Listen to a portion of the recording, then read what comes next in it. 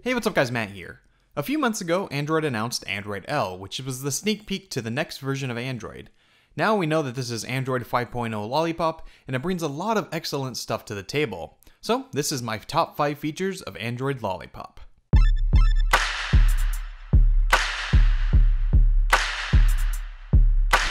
First and foremost is the new design. Google calls this material design, and it is the biggest change that we've seen since Ice Cream Sandwich.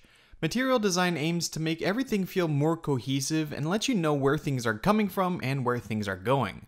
So if you hit the app drawer, you see where the drawer opens up from, or when you open up an app, you see that it slides in from the bottom. This is all done thanks to animations. Animations are everywhere in Android 5.0, and when you tap on something, it responds and gives you a much more tactile user experience, hence the material.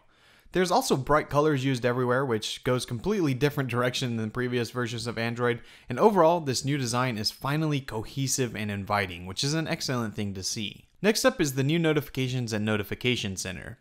The biggest change here is that now there are notifications on the lock screen, which is something I really love about iOS. I like being able to glance at the notifications without having to slide or touch the screen, and now this is also in Android, which is great to see.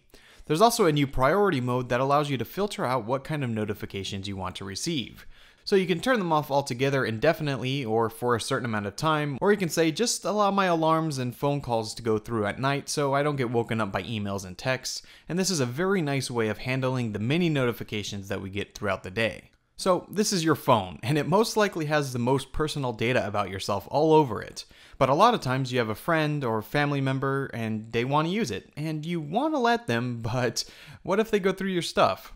Well, in Lollipop, you can now add multiple users. So you can just swap your account real quick, hand over your phone, and that person won't be able to get to anything. Apps, photos, contacts, none of that will be there, so now the snooping eyes really aren't so much of an issue. In previous versions of Android, one small annoyance was the quick settings menu. It was fine, but there were a few too many taps to get to where you want, and there weren't really that many options once you get there. Now you can access it a lot more easily. All you have to do is keep pulling down on the notification tray and it'll reveal the quick settings. And now you have access to a brightness slider, a rotation lock, a flashlight, you can even cast your screen to your TV through a Chromecast.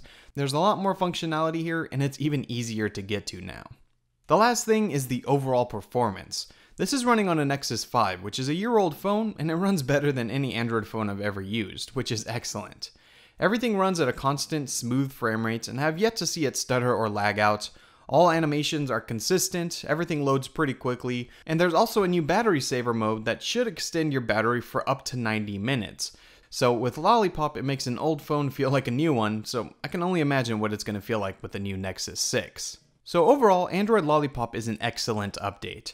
There's finally a uniform design language that actually looks good, and it is a much easier and inviting place to be. It's still not perfect, there's still inconsistencies with third party apps and such, but with the stock Google experience, everything is just plain better than it used to be. So, those are my top 5 picks in Android Lollipop. Let me know in the comments below which ones you like. This is a big step for Android, and I'm really excited for it. I hope you enjoyed this video. If you did, make sure you guys hit that thumbs up, and if you have any questions, leave them down in the comments below.